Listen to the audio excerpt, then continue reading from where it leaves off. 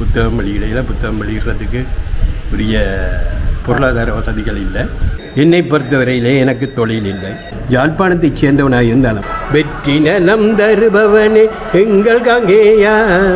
நான் கவிதை எழுதுவதில் ஆற்றல் பெற்றேன் எவ்வளோ காலமாக இந்த கவிதை எழுதுறதுல பத்து வருடங்களுக்கு மேலே எழுதுறேன். ஒரு லட்சம் விட்டதே வேணும்னு சொல்கிறீங்க கிட்டத்தட்ட எத்தனை பாடல்களும் கூட வாழ்க்கையில் இவ்வளோ காலம் எழுதி முடிச்சிருக்கு? கிட்டத்தட்ட அஞ்சூறு கவிதைக்கு மேலே எழுதியிருக்கேன். நீங்கள் இப்போ என்ன செய்து கொண்டிருக்கீங்க? நான் இப்பொழுது பிரத்யேக ஆசிரியராக கடமையாற்றி கொண்டிருக்கின்றேன். என்னை பொறுத்தவரையிலே எனக்கு தொழில் இல்லை. ஆனால் நான் கற்ற கல்வி என்றும் எனக்கு எழில் தருகின்றது. அந்த வகையிலே எனது பிரதான பொழுதுபோக்காக கவிதை எழுதுவதை காணப்படுகின்றது. அந்த கவிதை எழுதியதன் காரணமாகவே இன்று நான் ஒரு மனிதனாக இருக்கின்றேன். ஆம். அருள் தரும் ஆண்டவன் அருளிதனால் அவனியில் எந்தன் வாழ்வுயரே? அப்பன் முருகனே அருள் புரிந்தான் அங்கயற்கண்ணியின் திருமகனே. அவனருளாலே வாழ்வு கண்டேன் அவனடி போற்றியே வாழுகின்றேன். இன்னும் என்னுடைய வாழ்வு சிறக்க ஏதோ ஒரு வகையிலே முருகன் துணை புரிகின்றான் அந்த முருகனுடைய துணைதான் இன்று நான் இக்கவிதையினை பாடுவதற்கும் இனிய தமிழிலே பேசுவதற்கும் எனக்கு இன்னொழியாக இருக்கின்றது. காரணம் நான் யாழ்ப்பாணத்தைச் சேர்ந்தவனாக இருந்தாலும் அதாவது கொல்லங்கட்டியை பிறப்பிடமாக கொண்டிருந்தாலும் கூட மலையகத்திலே பிறந்து மலையகத்திலே வளர்ந்து மலையகத்திலேயே கல்வி கற்றனான். ஆனால் அங்கு தமிழ் அறிவு என்பது சற்று தாழ்ந்து காணப்பட்டது.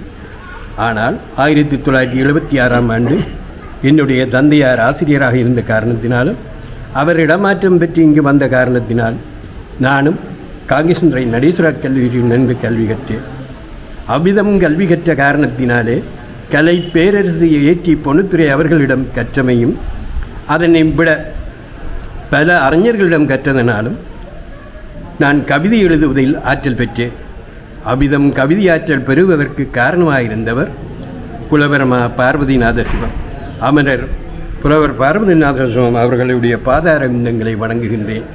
அதுபோலவே எனது கவிதைக்கு உயர்வுக்கு காரணமாக இருந்தவர் எங்கள் ஆலயத்தின் பிரதம குருவாக விளங்கிய மகாராஜஸ்ரீ சூனா தூணா சண்முகநாத குருக்கள் அவர்கள்.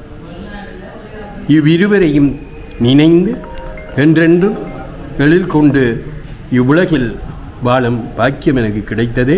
முருகன் செய்த தவப்பேராகும் இப்போ நீங்கள் படித்த எல்லா பாடல் வரிகளுக்கும் சொந்தக்காரர் நீங்கள் தான். எவ்வளோ காலமாக இந்த கவிதை எழுதுறதுல பத்து வருடங்களுக்கு மேலே எழுதுறேன். அவ கணக்க பாடல்கள் நீங்கள் புத்தகம் வெளியிடையில் புத்தகம் வெளியிடுறதுக்கு உரிய பொருளாதார பொருளாதார வசதிகள் இல்லை. டிஆர்எஃப் சாலா இருபத்தி ஐயாயிரம் தந்தவ. அந்த இருபத்தி ஆயிரம் எனக்கு காணாது ஒரு லட்சம் விட்டதே வேணும்னு சொல்கிறீங்க அதனால் நான் புத்தகத்தை வெளியிடுறத கொஞ்சம் பிற்போட்டிருக்கேன் கிட்டத்தட்ட எத்தனை பாடல்களும் கூட வாழ்க்கையில் இவ்வளோ காலம் எழுதி முடிச்சிருக்கு? கிட்டத்தட்ட முன்னூ அஞ்சூறு கவிதைக்கு மேலே எழுதியிருக்கிறேன். எல்லாம் சேகரித்து வச்சிருக்கீங்க இப்போ உங்களோட வயசு? என்ற அறுபது வயது. நன்றி ஐயா. மாருதப்புரவீக வல்லிக்கருள் புரிந்து மாவை நகர் வந்த காங்கேயா. மாருதம் தவழ்பதியில் மாமுகம் நீக்கிமதி முகம் மலர வைத்த வடிவேலா. ஆகுளம் நீக்கி அமர் பொருதியே அமரர் சிறை மீட்டொளி தந்தவனும் நீயே. ஆகுமோ இத்துயரம் தீர்க்குமோ இப்புணிகள் அருள் காட்டி வாரும்படி வளகா வெற்றி நலம் தருபவனே எங்கள் கங்கேயா. வேதனைகள் நீக்கிடுவாய் வேல் முருகா நீ. சக்தியுள்ள தெய்வம் அப்பா மாவை கந்தனே. சக்தியுள்ள தெய்வம் அப்பா மாவை கந்தனே. உன் சன்னிதானம் வந்தோம் அருள் தந்தருள் வாயேன் ஆடியிலே ஆடி வரும் ஆடல் அழகா. ஆடியிலே ஆடி வரும் ஆடல் அழகா. அருள் மாவை பதியழகா உன்னை பணிந்தேன். தேடித்திரம் உனை பணிந்த காரணத்தாலே. தெய்வீகம் சிறந்ததப்பா எந்த நுள்ளத்தில் தெய்வீகம் சிறந்ததப்பா எந்த நுள்ளத்தில் மாருத புறவீக பள்ளி பிணியினை மாற்றி வைத்த கண்டகி தீர்த்த மதனிலே ஆடி வரும் அழகனப்பா அருள்மிகு தெய்வம். ஆடி வரும் அழகனப்பா அருள்மிகு முருகா உந்தன் அருளொளியை காட்டிடுவாய் மாவை கந்தா. மாவை கந்தா அப்பா மாவை கந்தா மனதுயரை நீக்கிடுவாய் மாவை கந்தா. ஆடியிலே உன்னலகு கோடி கோடியே அருளமுதம் காண எம்மை அழைக்கும் இங்குமே.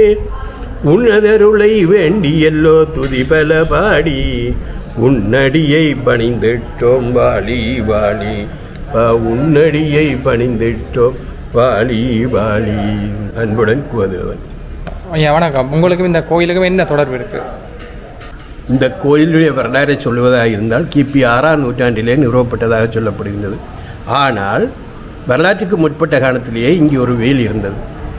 அந்த வேலினை மருதப்பிரவேலி வணங்கியதன் காரணமாகத்தான் அவளுடைய வேதனை நீங்கியதாக மாமுகம் நீங்கியதாக சொல்லப்படுகின்றது. அந்த வகையிலே இங்கே வந்த மாருதப்பிரவேலி தன்னுடைய மாமுகத்தை நீக்கிய போதும் அவள் தன்னுடைய பார்வைக்கு அந்த மாமுகம் நீங்கவில்லை என்பதை மனதிலே கொண்டு இதற்கு என்ன காரணம் என்று தன்னுடன் வந்த சாந்தலிங்க சுவாமிகளை கேட்டபோது சாந்தலிங்க சுவாமிகள் விநாயகனை வணங்காது வந்த குறையே இது என்று சொல்ல அவள் ஏழு இடங்களிலே கொல்லங்களட்டி பன்னாலை அளவட்டி பெருமாட்கடவை முதலிய ஏழு இடங்களிலே ஏழு விநாயகர் சிலைகளை ஸ்தாபித்ததாக சொல்லப்படுகின்றது. அவ்விதம் முதன் முதல் ஸ்தாபிக்கப்பட்ட விநாயகர் சிலையினை உடையது கொல்லங்கலட்டி ஸ்ரீ வீரகத்தி விநாயகர் பெருமான் ஆலயம் அந்த கொல்லங்கலட்டி தான் எங்களுடைய வாழ்விடம். வெற்றிலை குடிகளோடி வேர் விட்டு ஒளி தந்த நிலம் இன்று அந்த நிலம் இன்னும் மீட்சி பெற்றாலும் கூட பலம் பெறவில்லை. அதன் பலத்துக்காகவே எம்பெருமானை வணங்கி வாழ்த்துகின்றோம். அந்த கொல்லங்கலட்டியிலே பிறந்த பயன்தான் இந்த மாவைத்தலத்தை நாங்கள் வணங்குவதற்குரிய காரணமாக அமைகின்றது. மாவையிலே அருள் புரியும் முருகன் கொல்லங்கலட்டி கீரிமலை நவலீஸ்வரம் கீரிவலை காங்கிசந்துறை மாவட்டபுரம் மூன்றும் சேர்ந்ததுதான் கோயிற்கடவை ஆதியிலே இந்த இடத்து இந்த பெயர் கோயிற்கடவை அங்கே நகுல முனிவருடைய புனி நீங்கியபடியால் நகுலீஸ்வரம் என்றும் காங்கேயன் என்று சொல்லப்படுகின்ற முருகப்பெருமானுடைய சிலை வந்து இறங்கியதாலே காங்கேசந்துறை என்றும் மாமுக மாமுகப்பிணி நீங்கியதாலே பரதப்பிரவல்லியில் மாமுகன் நீங்கியதாலே மாவட்டபுரம் என்றும் பெயர் பெற்றதாக காணப்படுகின்றது.